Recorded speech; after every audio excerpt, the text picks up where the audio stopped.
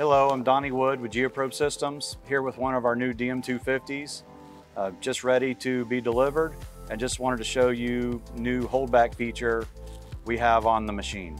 This feature is always on our DM450s and 650s. Um, just recently been added to the DM250. Our holdback feature will fine tune the weight on bit, um, allows us to, to see you know, different, uh, different types of formations a little bit better.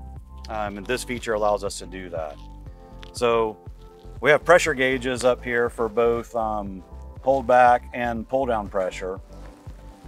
So normally, whenever I engage my uh, regular feed when I'm drilling, I'll engage my regular feed with no pull down pressure on.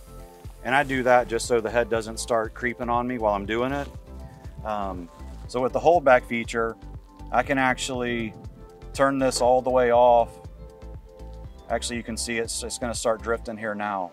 We're just gonna start using the weight of the top head, the weight of the drill string to drill down. So we don't have to have any pull down. My pull down pressure is still off and I don't have to have anything. We can, we can make some advancements and there it is. It's all the way off now. I can also, I can turn it back. So if you're in harder formation, you know, you'd want a little bit of hold back on and then your pull down pressure is going to overcome that and you would have to overcome the, the pressure on your reading of the holdback gauge to start drilling down.